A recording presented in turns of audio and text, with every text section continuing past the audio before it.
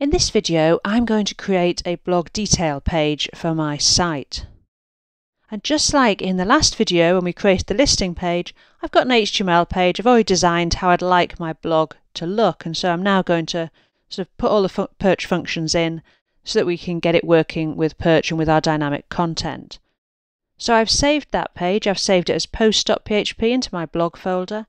And I've already added the Perch runtime here so we can start to use Perch. So if we have a look at our listing page and click on any of these, it will now load up our post.php page in the browser. And you can see here that there's this query string on the end. Now at the moment, this is just the hard-coded content on that page. We've not added any dynamic content yet. But you can see we've got a query string and it says s equals, and then we've got this. This is the blog slug. This identifies the actual post. Now in a later video, I'll show you how to rewrite your URLs to make these more friendly so we don't have this query string. But whether you've got rewritten URLs or whether you're using um, a query string like this, as far as the web server is concerned, you're using a query string. So we've got s equals and then the slug. Now that's important. So if we now go back to our code, what we want to do is we want to get that value, the value of S. We need to have that because that's going to identify our post. Because when we load this page for each individual post, we need to look and see well which post is this, which post have we clicked on, and then load that content into this page. That's all we're doing. So the first thing I'm going to do is get that value off the query string. Now I need to do that inside PHP, so let's use some PHP tags to do it. And I'm going to create a PHP variable and it's called post slug.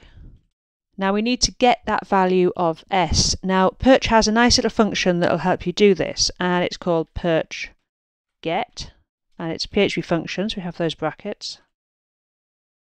And we want to get the value of s. So perch get will get stuff off the query string, uh, whichever value you pass in. So we've said we want to have s, we want the value of s off the query string, and that will get us our blog slug and store it in this variable here. So we can use this now on the page.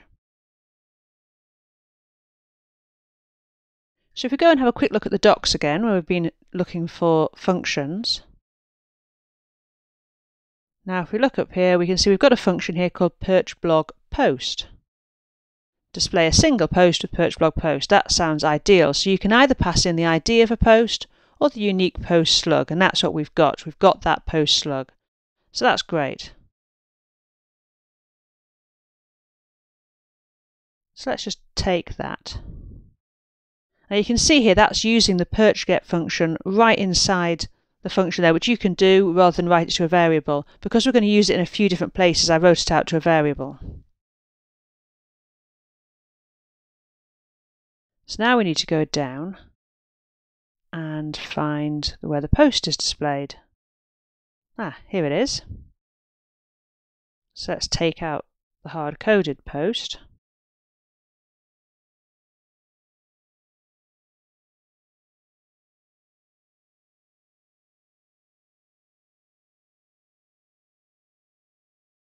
And then we're going to post this in. So that's our function. I'm going to replace this with my PHP variable. So that's going to be post slug.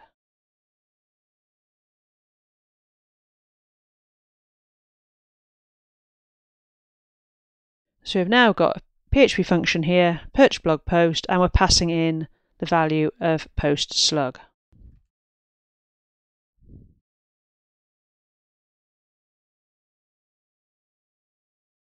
Ah, and here's the new content. Now it doesn't look quite like it did before. Again, we've not changed our templates yet, but you can see we've got this post. Now if we go back, and this one's called Learning to Fly, let's click on that. And you can see we've now got Learning to Fly showing up. So that's pretty cool. We've now got some dynamic content coming out into that page and it doesn't matter how many blog posts you've got, you'll click through and you'll be able to load your content. There's a few other places and the reason I wrote that value of the query string variable is that I'm going to use it in a few other places uh, as we build up our site. So let's go back to the code. Now one thing you might want to do is add the title of your blog post into the title element of the page. That's good for SEO, isn't it, to be able to show what the actual unique title is for the page. So we can do that with another function. Now there's a function called Perch blog post field, which you can use to pick out a field from your template.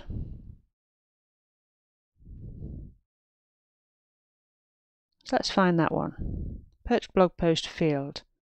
Output a single field such as the title. That sounds exactly what we'd like to have. So we can grab that.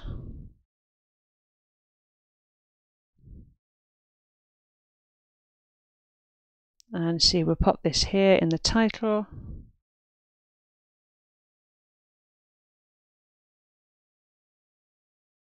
And once again, I'm going to use my variable that I've created. And you can see that I'm passing in that, so that's the post that I want to retrieve, and I'm asking for the post title field. Now this is a field that's in my template, so you need to make sure when using this that you're asking for a field that exists in the template or it's not going to work. Other things you might want to do? Uh, we've got some information that appears about um, the categories and the tags that our post is in. So you can see we've got this here, we've got categories and we've got tags. And once again, we've got some handy functions you can use to, to get that information. So under categories there, we're going to remove all the uh, information, including the heading.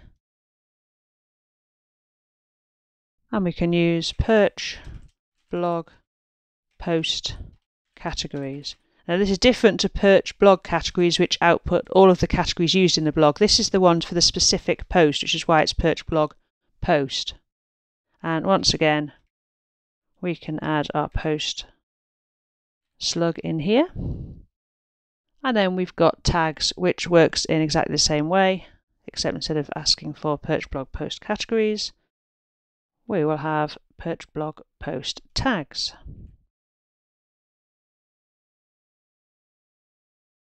So once we've done that, then we go back to our page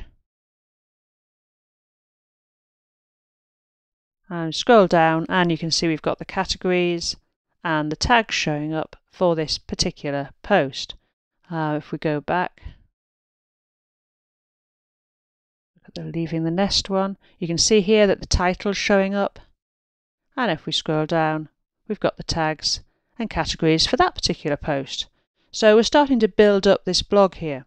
And we've got some comments down here as well. Now, the blog uh, app uses comments. You can have comment form, you can have a comment listing. Once again, you've got some handy functions just to pull that out onto the page. So here's our comments. First thing we've got is a comments listing. So it's probably not surprising to you now that what we need to do is remove the comments that we've got here.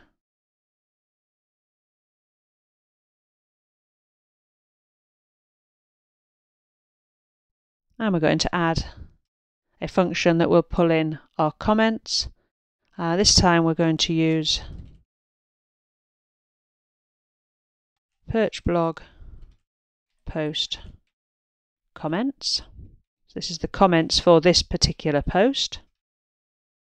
And once again, we pass in the post slug You can also pass in an array as the second argument here. And that's the same for an awful lot of these functions that you see. You can pass in extra options as an array. So just to sort of see how that works, let's say we only want to show 10 of the comments that are available. So here we'd say count 10. So that would give us 10 comments. And if you go to the documentation, you can see all the different things that you can add there. And then we've got this comment form. So we can remove the form.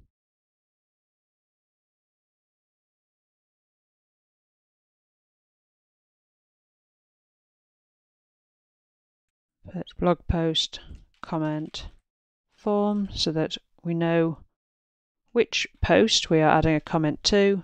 Again, we need to pass in the post slug. So any comments that are added will be attached to this particular post.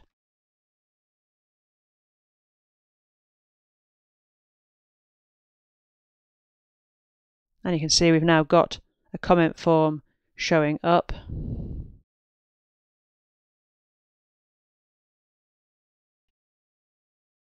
So that's the basics of creating our page. As I say, it looks a bit different from our test page for our HTML because we haven't updated the templates yet to get the markup that we want into the blog. However, we'll be doing that in a later video.